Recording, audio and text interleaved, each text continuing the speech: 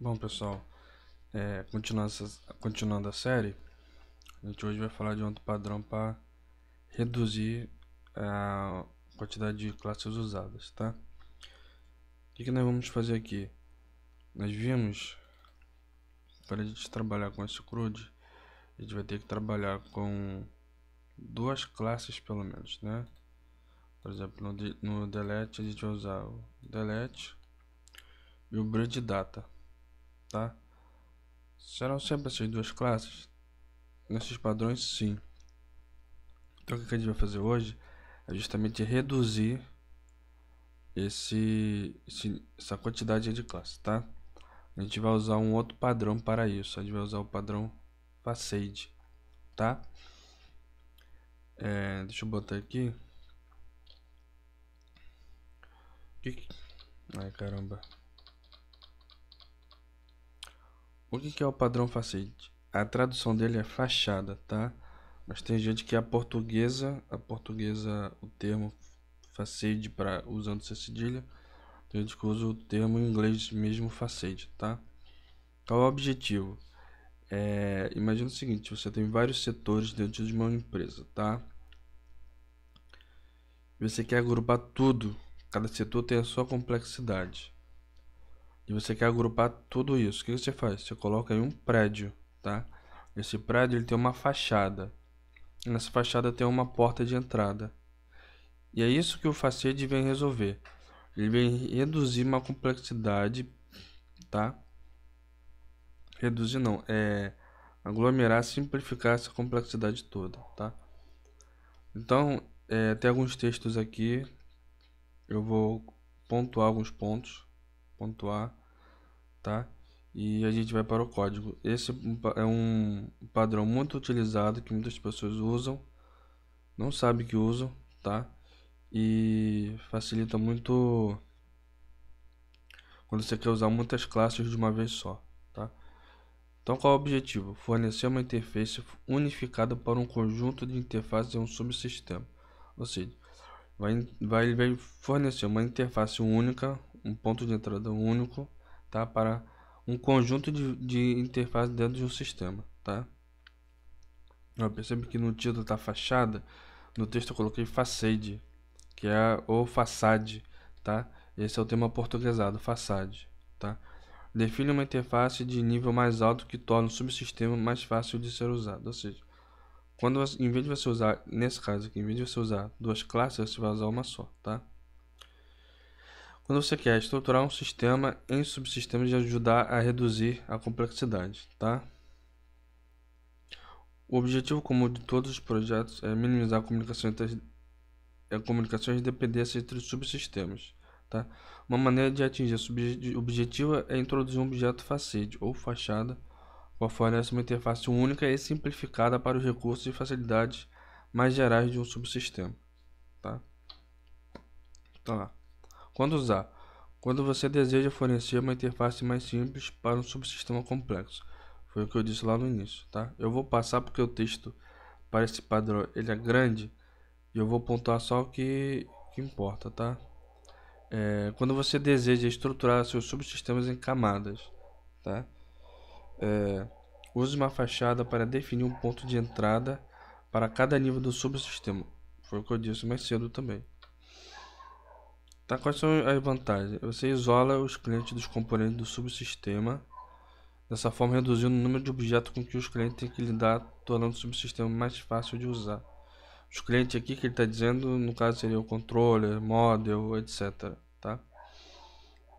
E os componentes do subsistema seria, no caso, aquelas duas classes que a gente tem usado. É, outra vantagem, promove um complemento fraco entre o subsistema e os seus clientes. Tá? Então, quando você precisar mudar aquelas classes, tiver que adicionar uma terceira classe, por exemplo, você não, você vai usar, você vai adicionar aquela terceira classe no facade e o cliente não vai perceber, tá? Esse seria um exemplo. Nós temos aqui três clientes que usam vários subsistemas, tá? Quando a gente usa o Facade, a gente fornece um, um mecanismo único tá? para vários sub, subsistemas. Isso acontece muito com endpoint, com REST, com API, com SOAP. Geralmente esse é o padrão é, é usado de, de, de cara nesses sistemas, tá certo? Vamos para o código? Então vamos lá. É, acho que é ESC. Vamos lá. Vamos criar aqui. Eu vou chamar esse facade de SQL. Vou criar uma classe genérica. SQL. Ok? Hum, sim. Então, vamos lá. Só que aqui eu criei. Eu quero uma classe. SQL. Namespace, nem lembro qual namespace que eu estou usando. Bota isso aqui mesmo. Estou usando app mesmo. Tá certo. Vamos lá, SQL.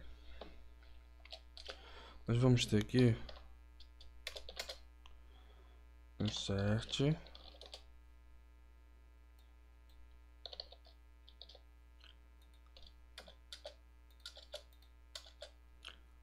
delete update select. select por enquanto eu não vou mexer tá vamos nos ater o select provavelmente próxima aula, tá? E depois, depois do select vai vamos, vamos ter uma aula um pouquinho mais complicada porque nós vamos mexer em filtros. Não sei se vocês perceberam, mas todos os dados que entram nessas classes elas estão sem filtro. Não tem como colocar aspas, não tem como filtrar SQL injection, então nessa aula um pouquinho mais complicada eu vou mostrar como fazer isso, tá? Na próxima, vamos mexer com o select, ver como fazer a magia do select trabalhar sem usar muito código, tá? Lembra do solid, lembra do dry, do kiss, pouco código. O que, que nós vamos fazer aqui com o insert? Certo, vai ter uma table, vai ter um data. Esse data eu vou mexer com um array tá certo? Delete, delete ele tem um index, um value desse index e tem uma table. Update, tem uma table, conjunto de dados, uma index, um value para esse index, tá? O select, por enquanto, eu não vou mexer nele. Deixa eu ver aqui. Vamos fornecer um... Não, por enquanto não. Porque ele ainda tem que ter o valor que ele vai ser retornado, tá? Select, que nós vamos usar o select. Vamos pegar aqui o... Desculpa, no insert. Eu vou pegar aqui o código do teste. Vou pegar aqui. New insert.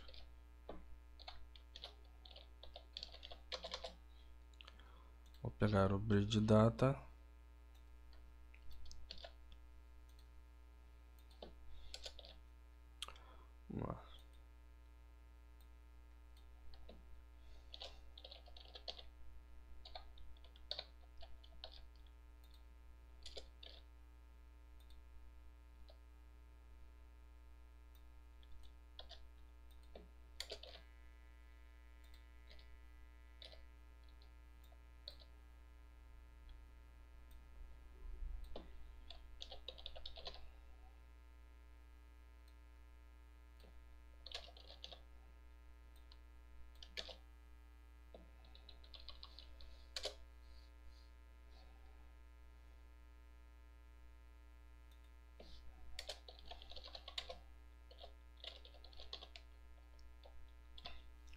Que eu estou fazendo aqui? Estou testando a classe insert, beleza?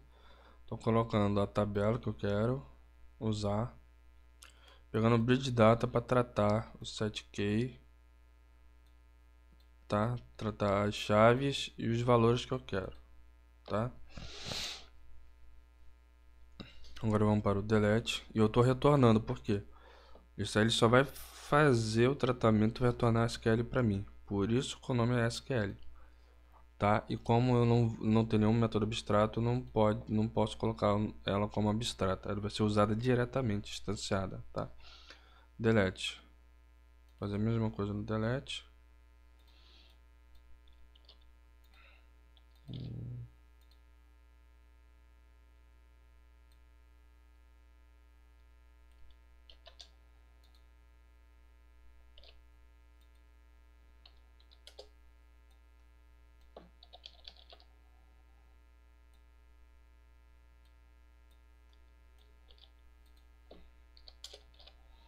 Vai ficar uniforme com o método acima.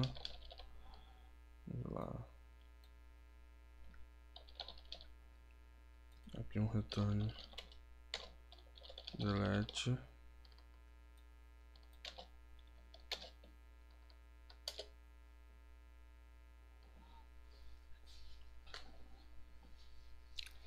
E aqui mais embaixo, update.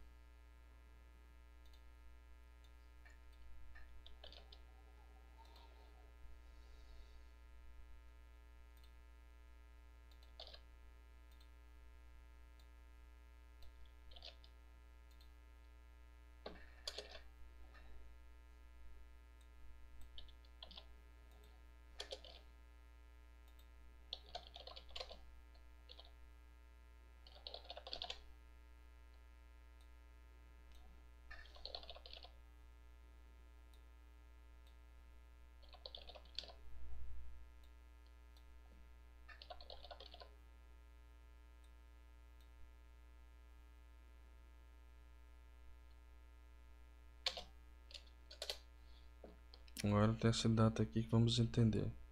Isso aqui é o index. Lembrar, na verdade, o value. Isso aqui é o data pura. Ok? Beleza. Já está nessa aqui. Agora vamos fazer os testes. Lá, SQL teste.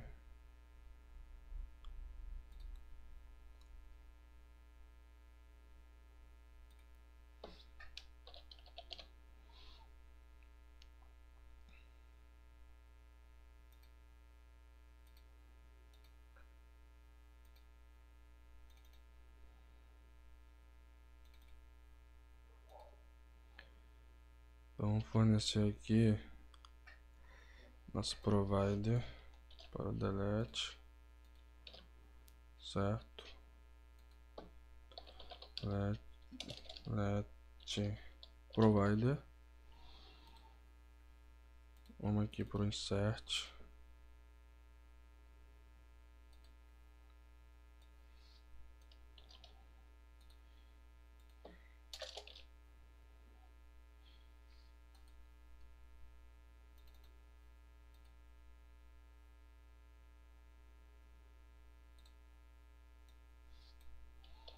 Update provider, cadê?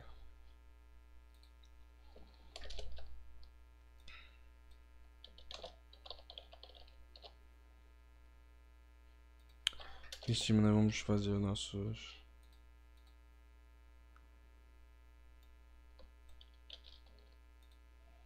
nosso setup. E o teardown ok. Fazer o que aqui? SQL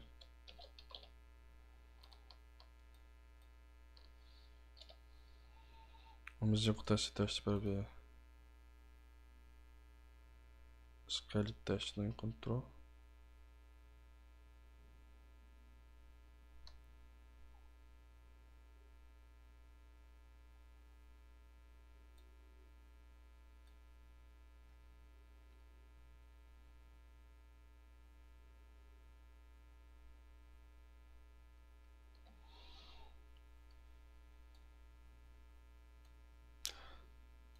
Teste encontrado na classe tal. Então vamos lá.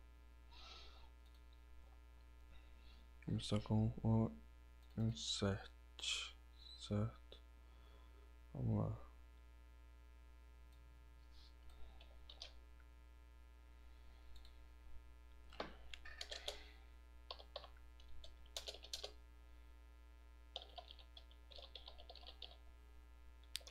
Teste de insert, vamos lá.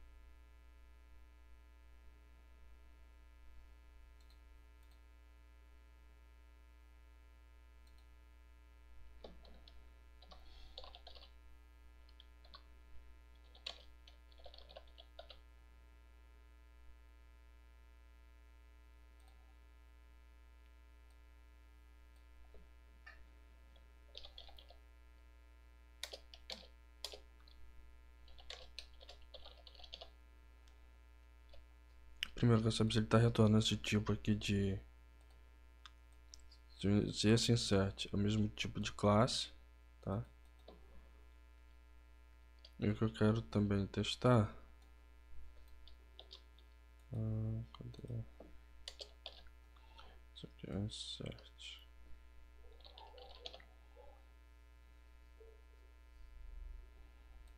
Isso aqui some porque não existe aqui, certo? Vamos testar aqui agora. SQL rodar.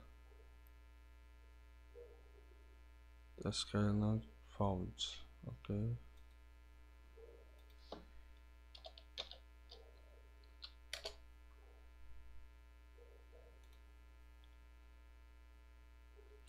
Procurando argumento 1, tá.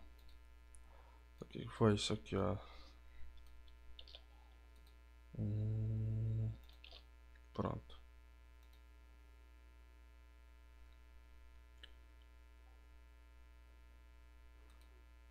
Não bate como string. Isso aqui era para retornar uma string.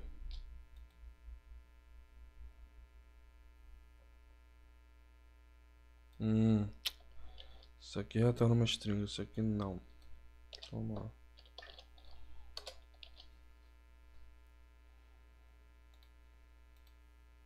Verdinho, passou. Ok? Vamos passar agora para o delete. Vamos, vamos pegar o delete. Uh...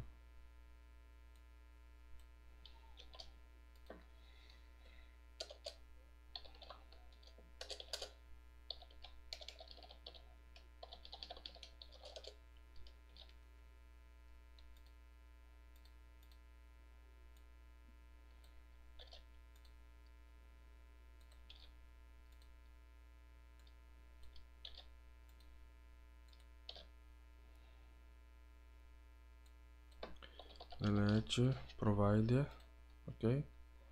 Então vamos lá. Vamos pegar isso aqui. Jogar aqui. Aqui delete. Ok tem um index tem um value não tem o um table. Index value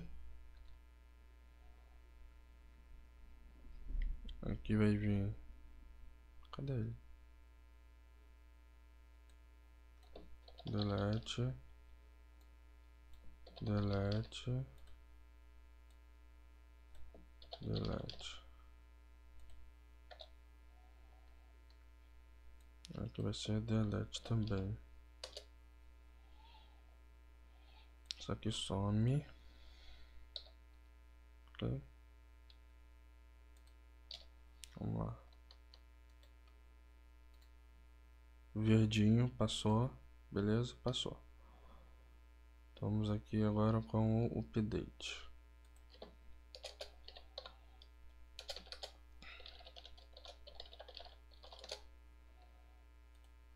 Só que eu posso fechar, agora vem para update. Lá. Pegar isso aqui tudo.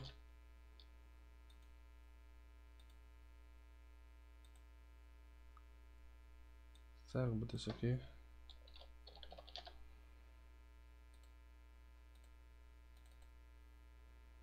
Ok, vamos lá.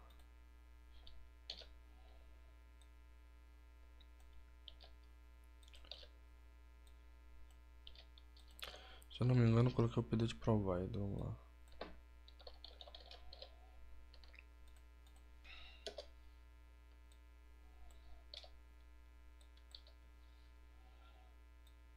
Pegar isso aqui emprestado. Jogar aqui. Vamos lá. Eu quero update. Vamos lá. Update. Update. Update.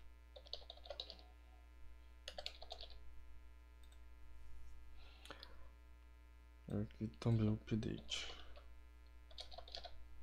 Tá certo? Então vamos lá ver isso aqui, o update. Pera, esse data. Table, vamos lá.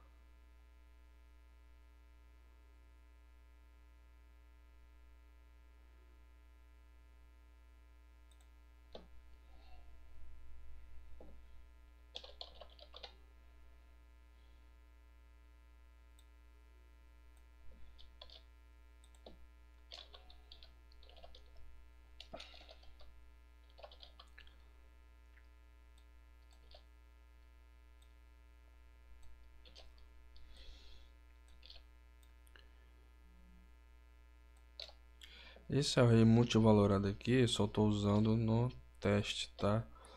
Quando for para valer a Vera, eu não vou usar um array todo é, multivalorado assim não. Eu vou colocar aqui 2, aqui vou colocar tipo ID, aqui 2, tá? Não vai ter esse array multivalorado. Vamos agora fazer o teste. Verdinho. Agora vamos testar todas as classes. Não houve nenhuma quebra de teste. Todos eles estão rodando. Certo? Show de bola. Até a próxima.